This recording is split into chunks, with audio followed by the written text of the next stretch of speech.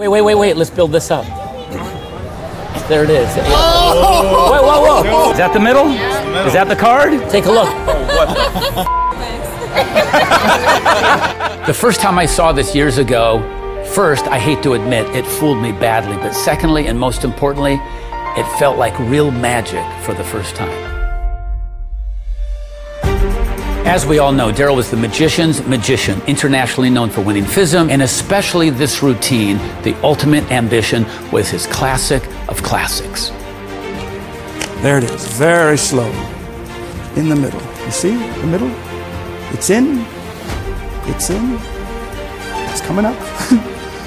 There's only one thing I need to do to get it from the middle of the deck up to the top. Does anybody remember? What? Snap. And there it is, up to the top of the pack. Is that your signature? From the middle to the top, is that your signature as well?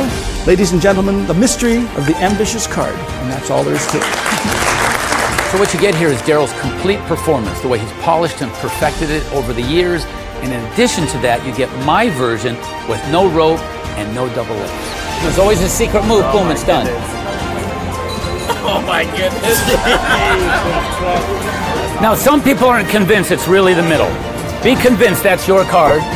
Is that your card? It's the only one you signed, and it's in the middle. Tell me that's the middle. the middle. Now watch this. Don't watch that. Watch this. Yeah, yeah. Watch him. Don't watch that.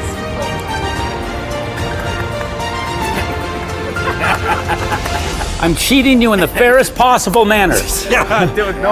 Look, look, look, look, look. Dead center Right. until I do the move. Your card's in the deck, the deck's in the box. I just do the little secret move. Boom, it's done. pull the one. Pull the one on the top. What was your card? Eight of hearts. Eight hearts sign. Wait, wait, wait, wait, wait. Let's build this up.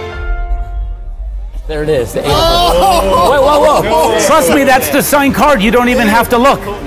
It's still not your card. Pull the whole thing out. But when you do it, go slow and be sure it's really your card on the top. Is that really on the top? And is that really your card?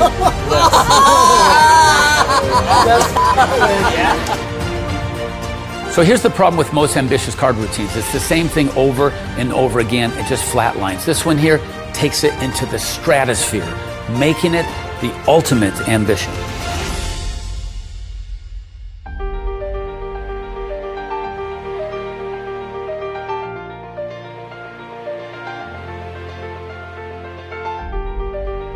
Here's the bottom line in this Daryl classic. It's the last phase and the last word of all things ambitious.